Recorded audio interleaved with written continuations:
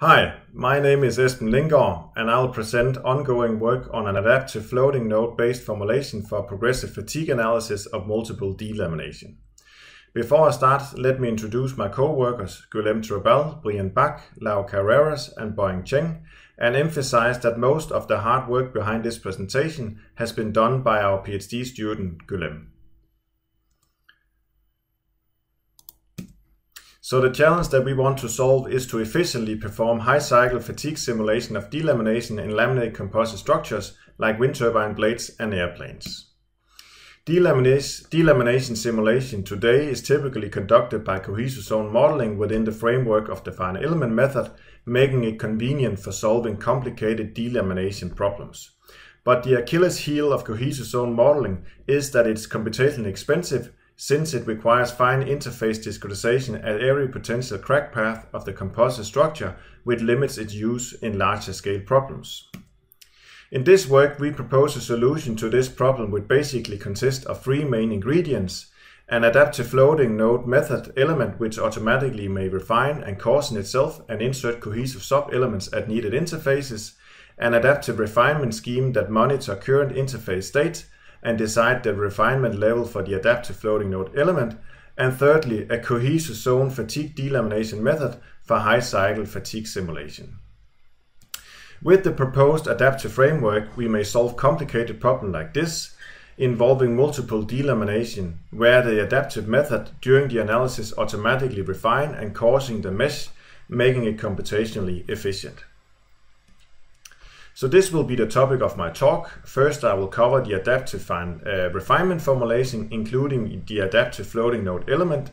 I will briefly explain the cohesive fatigue method we use in this work, and then I'll present some numerical examples and results, and finally I will conclude. But let us start with the adaptive formulation. The formulation is based on observations done on typical cohesive traction and damage profile, here shown for mode 1 interface example. From these observations, we may define four zones together with the associated mesh requirement. We have the full damage zone that has a fully damaged interface and only needs coarse cohesive elements to model separation and simple contact. We have the high gradient traction zone that includes the damage process zone and a small part of the traction field ahead of the damage process zone. And this zone requires fine cohesive elements to accurately model progressive damage. And then we have the coarse zone, which is defined as the small traction zone ahead of the damage process zone, which may be modeled by coarse cohesive elements to capture the elastic energy in the cohesive zone. And finally, we have the inactive zone, which is far away from the damage process zone and do not need to be modeled by cohesive elements. Based on the observations, we propose an adaptive refinement scheme which works on the discretized initial coarse adaptive floating node element mesh as shown here. In principle, the fine element bookkeeping consists of just two parts, and first we identify an interface state for each interface in each adaptive floating node element as shown in this example here, having three interfaces. And then we identify the crack tip adaptive floating node element and its immediate neighbors ahead of the crack tip. And the crack tip is here defined as the onset of cohesive damage. Then we define four interface states, where the first is the full damage state, which is modeled by coarse cohesive elements as shown here, together with the resulting mesh refinement. Then we have the refined state, which is modeled by fine, active cohesive elements. And then we have the coarse state, which is modeled by coarse cohesive element, and its zone size is defined by a user input length ahead of the refined zone. All other interfaces are uh, in the adaptive floating node element uh, are kept at an idle state and no refinement or cohesive elements are added.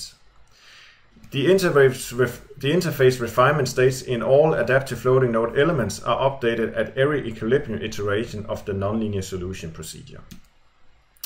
Let us now study how the adaptive refinement scheme automatically updates during a nonlinear solution I will start the animation and explain what is shown. We consider a quasi-static DCB mode 1 case with an initial coarse mesh with a single adaptive floating node element in the thickness direction. The model has three interfaces, but only the interface in the middle is delamination.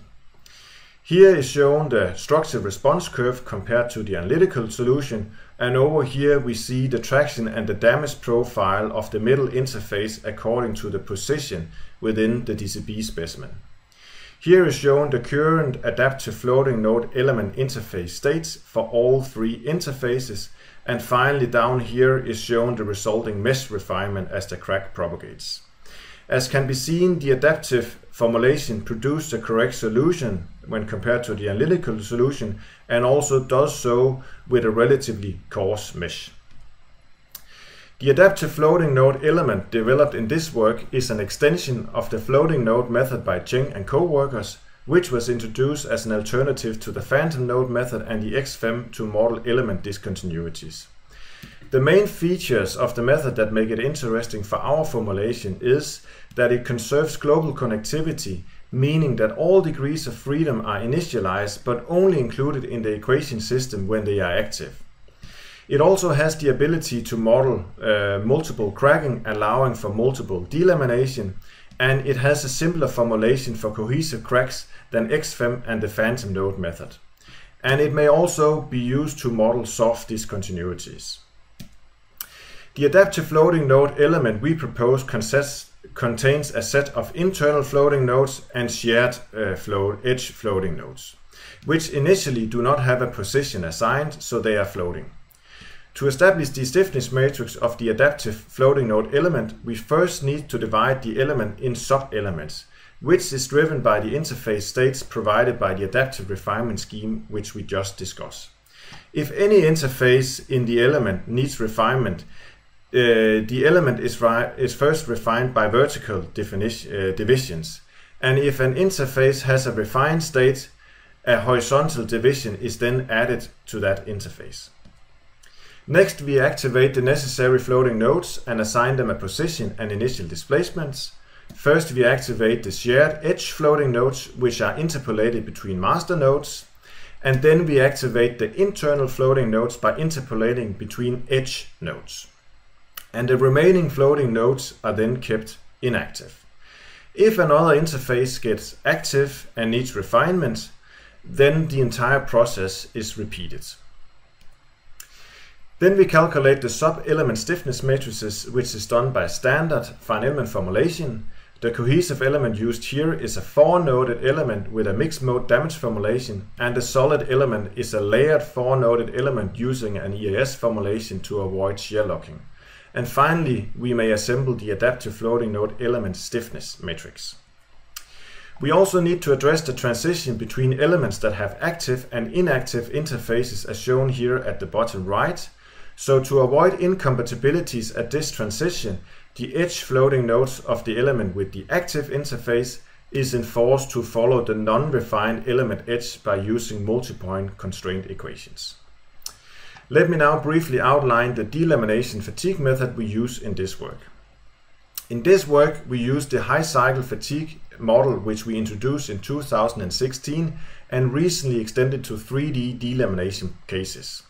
It is an envelope load approach and at every cycle jump the damage state is updated by integrating the damage rate over the elapsed number of cycles. Schematically, the key concept of the simulation method for fatigue delamination is as follows.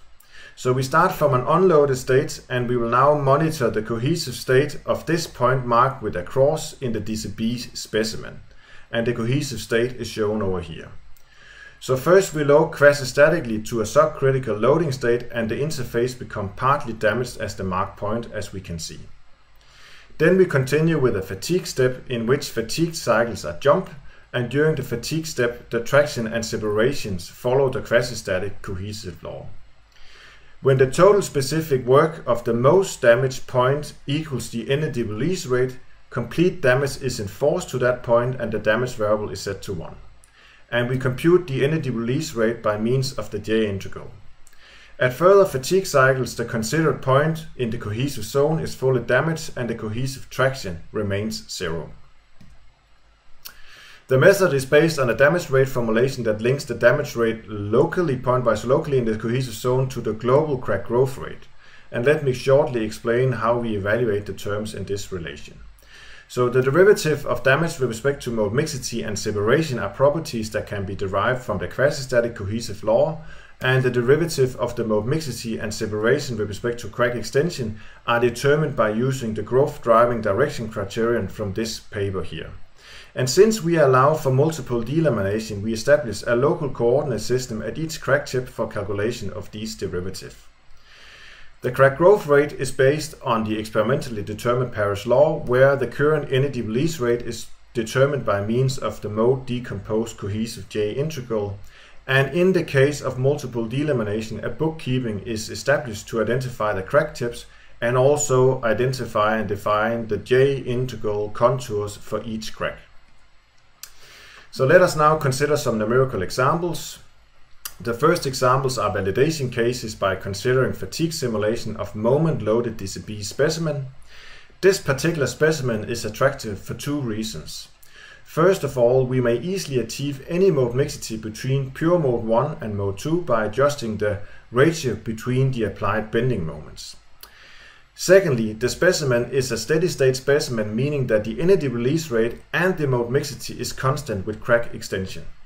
And for the validation, we have considered three levels of mode mixity as shown here. And first we compared the crack growth rate obtained by simulation to the theoretical Paris law for these mode mixities as shown here and also for different levels of loading measured in terms of the energy release rate. As we can see on the graph here, the simulated crack growth rates by the adaptive simulation is in perfect agreement with the theoretical Paris law.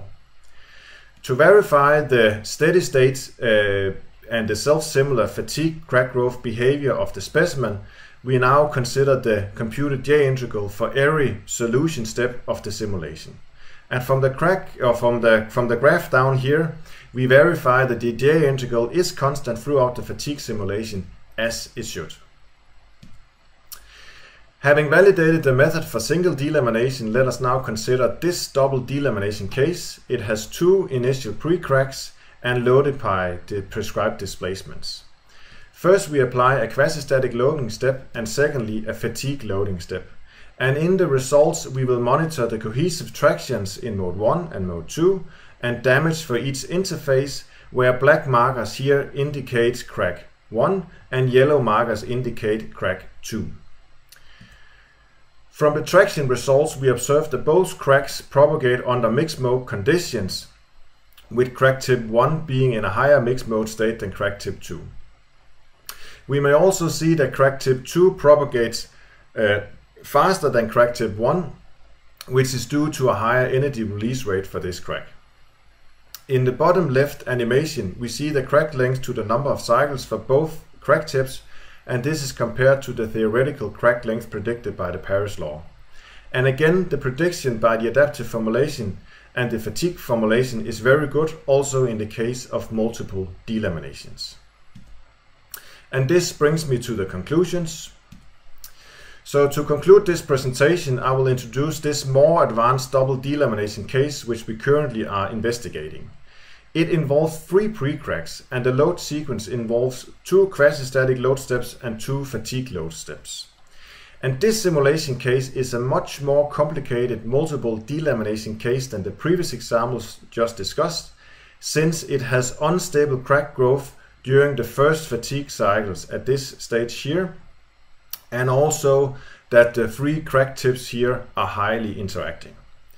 So all of this makes it very difficult to validate this example by only considering theoretical Paris law data from single delamination cases.